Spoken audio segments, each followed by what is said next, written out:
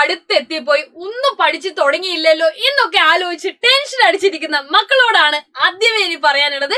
എടാ ഇനിയുള്ള ദിവസങ്ങൾ മാത്രം മതി. നന്നായിട്ട് ഒരു പ്ലാൻ ഒക്കെ വെച്ച് പഠിച്ചാൽ നമുക്ക് നേടിയെടുക്കാൻ പറ്റുന്നതേ ഉള്ളൂ ഈ യു എസ് എസ് ഒക്കെ. അപ്പോ ഇന്ന് അനിമ മിസ് നിങ്ങൾക്ക് ബേസിക് സയൻസിലെ വളരെ ഇമ്പോർട്ടന്റ് ആയിട്ടുള്ള കുറച്ച് ക്വസ്റ്റ്യൻസുമായിട്ടാണ് വന്നിരിക്കുന്നത്.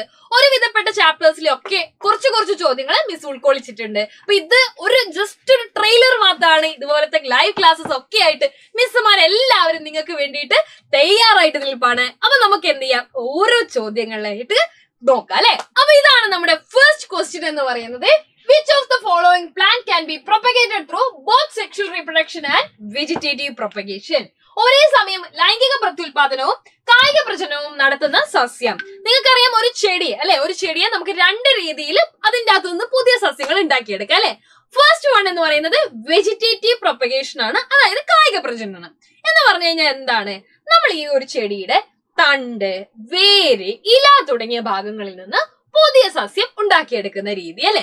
ഫോർ എക്സാമ്പിൾ നമ്മളിപ്പോ ഒരു ചെമ്പരത്തി ആണെന്നുണ്ടെങ്കിൽ ചെമ്പരത്തിയുടെ കമ്പ് കൊണ്ടുപോയി കുഴിച്ചിട്ട് കഴിഞ്ഞാൽ നമുക്ക് എന്ത് ചെയ്യും? പുതിയ ചെമ്പരത്തി കിട്ടത്തില്ലേ അതുപോലത്തെ പരിപാടിയാണ് നമ്മുടെ വെജിറ്റേറ്റീവ് പ്രൊപ്പഗേഷൻ എന്ന് പറയുന്നത്. അപ്പൊ എന്താണ് ഈ സെക്ഷൽ റീപ്രൊഡക്ഷൻ എന്ന് പറഞ്ഞു കഴിഞ്ഞാൽ? ലൈംഗിക പ്രത്യുൽപാദനം അല്ലെ? അതായത് ചെടിയുടെ വിത്ത് നമ്മൾ എന്ത് ചെയ്യുക? കൊണ്ടുപോയിട്ട് കുഴിച്ചിടുക. അപ്പൊ വിത്തിന്റെ അതിൽ പുതിയ ചെടി ഉണ്ടാവുകയാണെങ്കിൽ എന്താണ്?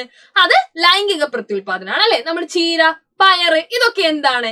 ഈ ഒരു രീതിയിൽ നടത്തുന്ന ആളാണ് അല്ലെ? അപ്പൊ ചോദ്യം എന്ന് പറയുന്നത് ഈ രണ്ട് രീതിയും പോസിബിൾ ആയിട്ടുള്ള സസ്യം ഏതാണെന്നാണ് അപ്പൊ option A cucumber option B coconut option C മുരിങ്ങ ഓപ്ഷൻ ഡി യാം ഇതാണ് നമ്മുടെ ചോദ്യത്തിന്റെ അല്ലെ? ഓപ്ഷൻസ് ആയിട്ട് തന്നിരിക്കുന്നത്. അപ്പൊ ഇതിൽ ഏതാണ്? കറക്റ്റ് ആൻസർ എന്ന് പറയുന്നത് എന്താണെന്ന് അറിയാവോ നിങ്ങൾക്ക്?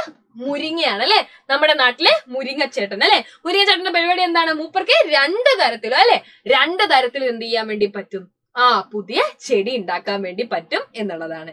മനസ്സിലായല്ലോ? അപ്പൊ അടുത്ത ചോദ്യം നോക്കിക്കോ.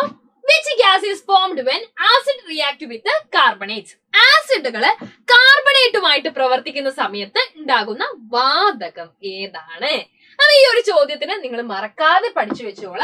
ആൻസർ എന്ന് പറയുന്നത് സി ടു ആണ്. എന്താ ഈ സി ഒ ടു എന്ന് പറഞ്ഞാൽ നമ്മുടെ കാർബൺ ഡൈ ഓക്സൈഡ് തന്നെ അല്ലേ? Carbon dioxide carbon dioxide carbon dioxide അല്ലെ? കാർബൺ ഡൈ ഓക്സൈഡ് ആണ്. അപ്പൊ സിഒ ടു എന്നാണ് നമ്മൾ ഈ കാർബൺ ഡൈ ഓക്സൈഡിനെ റെപ്രസെന്റ് ചെയ്യുക എന്നുള്ള കാര്യം മറന്നു പോകരുത് കേട്ടോ നമ്മൾ എച്ച് ടു ഒ എന്നല്ലേ വാട്ടറിനെ റെപ്രസെന്റ് ചെയ്യുക. അതുപോലെ സിഒ ടു എന്ന് കണ്ടാൽ ഉറപ്പിച്ചോളാം അത് കാർബൺ ഡൈ ഓക്സൈഡ് ആണ് അല്ലെ?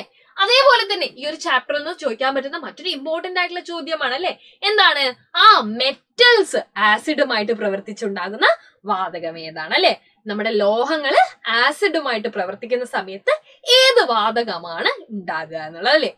ഏതാണ്? നമ്മുടെ ഹൈഡ്രജൻ ആണ് ഉണ്ടാവുന്നത് അല്ലെ? ഏത് ഗ്യാസ് ആണ്? ഹൈഡ്രജൻ വാതകമാണ് ഉണ്ടാകുന്നതെന്ന് ഓർത്തു വെക്കുക. അപ്പൊ ഈ ഒരു ചോദ്യത്തിൽ കാർബൺ ഡൈ ഓക്സൈഡ് പല സ്ഥലങ്ങളിലും അല്ലെ? നിങ്ങൾ ഈ കാർബൺ ഡൈ ഓക്സൈഡിനെ കാണാൻ വേണ്ടി സാധിക്കും അല്ലെ? എന്താ ഈ കാർബൺ ഡൈ ഓക്സൈഡുമായിട്ട് ബന്ധപ്പെട്ട മറ്റൊരു ചോദ്യം എന്ന് പറയുന്നത്? ആ നമ്മൾ ഒരു തീ ഉണ്ടാകുന്ന സമയത്ത് അല്ലെ? തീ കെട്ടുപോകാൻ കാരണക്കാരൻ ആരാണ്? ഈ കാർബൺ ഡൈ ഓക്സൈഡ് ആണ് അല്ലെ? അപ്പൊ തീ കെടുത്താൻ സഹായിക്കുന്ന വാതകം ഏതാണ്? കാർബൺ ഡൈ ഓക്സൈഡ് ആണ്. തീ കത്താൻ സഹായിക്കുന്ന വാതകം ഏതാണ്? അത് നമ്മുടെ ഓക്സിജൻ ആണ് അല്ലെ? തീ കത്താൻ സഹായിക്കുന്നത് ഓക്സിജൻ ആണ് തീ കെടുത്തുന്ന ആളാരാണ്? കാർബൺ ഡൈ ഓക്സൈഡ് ആണ് അല്ലെ? അതേപോലെ തന്നെ ആഗോളതാപനത്തിന് കാരണമാകുന്ന ഒരു വാതകം കൂടിയാണ് അല്ലെ? ഗ്ലോബൽ വാർമിങ്ങിന് കാരണമാകുന്ന ഒരു ഗ്യാസ് കൂടിയാണ് കാർബൺ ഡൈ ഓക്സൈഡ് എന്നുള്ളത്. മക്കൾ മറന്നു പോവാതെ പഠിക്കുക. കാർബൺ ഡൈ ഓക്സൈഡിനെ കുറിച്ച് കുറെ ചോദ്യങ്ങൾ ഉണ്ടാവും അല്ലെ? അപ്പൊ ഇതൊക്കെ കൂടെ ഒന്ന് എന്ത് ചെയ്യുക ഒരുമിച്ച് പഠിച്ചു വെക്കുക ഓക്കെ റെഡി അടുത്ത ചോദ്യം നോക്കാം. ഡയക്ലീൻ liquid found in human body മനുഷ്യ ശരീരത്തിൽ അടങ്ങിയിരിക്കുന്ന ആൽക്കലി സ്വഭാവമുള്ള ദ്രാവകം ഏതാണ്? അപ്പൊ ഈ ഒരു question straight from acid and alkali അല്ലെ ഈ ഒരു ചാപ്റ്ററിൽ നിന്നാണ് ഈ ചോദ്യം വന്നിരിക്കുന്നത്. അപ്പൊ മനുഷ്യ ശരീരത്തിൽ ആൽക്കലി സ്വഭാവമുള്ള ദ്രാവകം ഏതാണെന്നൊരു ചോദ്യം വരും. ഉത്തരം ഏതാണെന്ന് മിസ് ആദ്യം പറയാം. ആൻസർ എന്ന് പറയുന്നത് നമ്മുടെ ബ്ലഡ് ആണ് അല്ലെ? ബ്ലഡ് ആണ് രക്തം. നിരവധി തവണ യു എസ് എസ് എക്സാമിന് ചോദിച്ച ഒരു ചോദ്യമാണ് ഇപ്പൊ നിങ്ങൾ കണ്ടത്.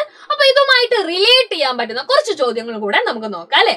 അപ്പൊ പി എച്ച് പി എച്ച് സ്കെയിലിൽ ഏഴിൽ കൂടുതലാവുമ്പോഴാണ് നമ്മൾ എന്ത് പറയുക ഇതൊരു ആൽക്കലി ആണ് എന്ന് പറയാം അല്ലെ? ആൽക്കലിക്കുള്ള ഒരു പ്രോപ്പർട്ടി എന്താണ്? അതിനൊരു ക്ഷാര സ്വഭാവമായിരിക്കും അല്ലെ? ഒരു വഴുവഴുപ്പുള്ള ഒരു സ്വഭാവമായിരിക്കും ഇതിനുണ്ടാവുക. അപ്പൊ ഏഴിന് മുകളിൽ ഏഴിന് മുകളിലാണെങ്കിലാണ് എന്താവുക? അത് ആൽക്കലി ആവുക അല്ലെ? ആൽക്കലി ആവുക അപ്പോ എക്സാമ്പിൾസ് എന്താണ്? ഉദാഹരണം നമുക്ക് എന്ത് പറയാം? എൻ എ ഒ എച്ച് അല്ലെ? N A O H sodium hydroxide ഒരു ഉദാഹരണമാണ് സോഡിയം ഹൈഡ്രോക്സൈഡ്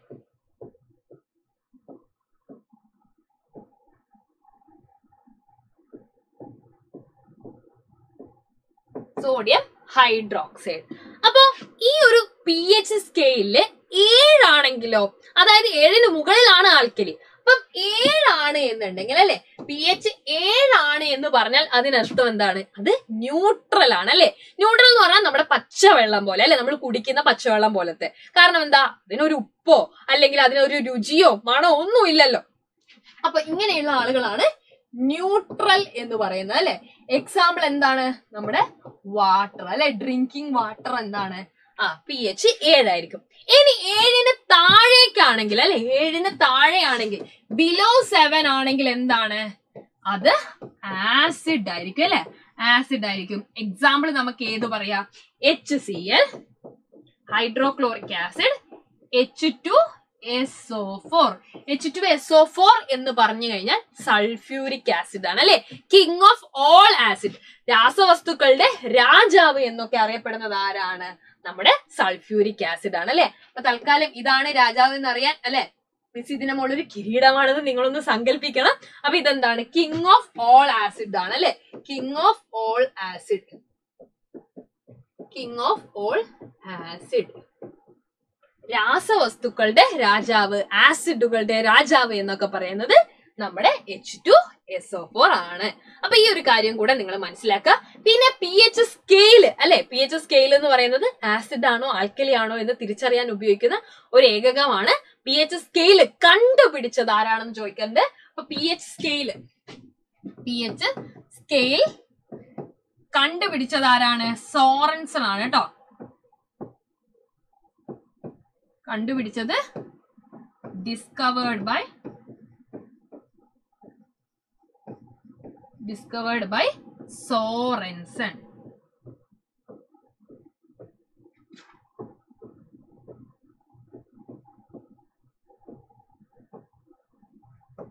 അപ്പൊ നമ്മൾ ഒരു ടോപ്പിക് പഠിക്കുന്ന സമയത്ത് തന്നെ അതുമായിട്ട് ബന്ധപ്പെട്ടതൊക്കെ എന്ത് ചെയ്യണം?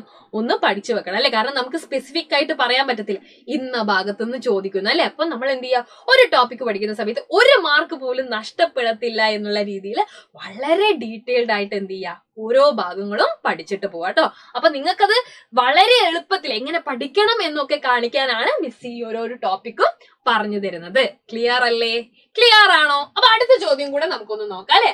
അടുത്ത ചോദ്യം ഇതാണ്. What is the hardest material in the human body ശരീരത്തിലെ ഏറ്റവും കട്ടിയുള്ള പദാർത്ഥം ഏതാണ് എന്നാണ് ചോദ്യം. അപ്പൊ മനുഷ്യ ശരീരത്തിലെ ഏറ്റവും കട്ടിയുള്ള പദാർത്ഥം എന്ന് പറയുന്നത് ഏതാണ്? നമ്മുടെ പല്ലിനകത്തുള്ള ഇനാമലാണ് അല്ലെ?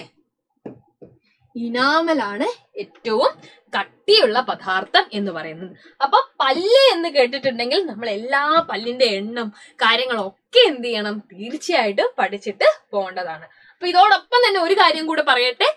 മനുഷ്യ ശരീരത്തിൽ ഏറ്റവും കട്ടിയുള്ള പദാർത്ഥമാണ് ഇനാമൽ എന്ന് പറയുന്നത് അല്ലെ? അപ്പൊ ലോകത്തിലെ ഏറ്റവും ഈ ലോകത്തിലെ തന്നെ ഏറ്റവും കട്ടിയുള്ള പദാർത്ഥം ഏതാണെന്ന് ചോദിച്ചാൽ ഏതാണെന്ന് അറിയാവോ നിങ്ങൾക്ക്?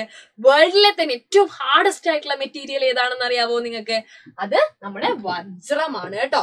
വജ്രമാണ്. ഡയമണ്ട് ആണ് ഏറ്റവും കട്ടിയുള്ള രൂപം എന്ന് പറയുന്നത് കാർബണിന്റെ അല്ലെ? വജ്രം എന്ന് പറയുന്നത് കാർബണിന്റെ രൂപമാണ് അല്ലെ? വജ്രത്തിൽ കാർബൺ ആണുള്ളത്. കാർബണിന്റെ രൂപാന്തരമാണ് ഗ്രാഫൈറ്റ് അല്ലെ? ഗ്രാഫൈറ്റ് എന്ന് പറയുന്നത് നമ്മുടെ കാർബണിന്റെ രൂപാന്തരമാണ്. ഇതൊക്കെ എന്ത് ചെയ്യുക ഈ ഒരു കാര്യം പഠിക്കുന്നതിനോടുകൂടെ തന്നെ റിലേറ്റ് ചെയ്തിട്ട് നിങ്ങൾ എന്ത് ചെയ്യുക ഒന്ന് പഠിക്കാൻ വേണ്ടിയിട്ട് ശ്രമിക്കുക. അപ്പൊ എല്ലാവരും നന്നായിട്ട് പഠിക്കുക നല്ല മാർക്ക് നേടുക. നമുക്ക് വരും ക്ലാസ്സുകളിൽ കാണാം. Bye-bye bye